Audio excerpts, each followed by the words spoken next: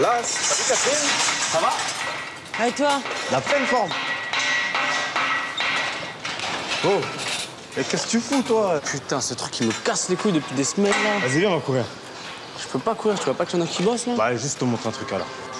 Deux minutes. Deux minutes, allez.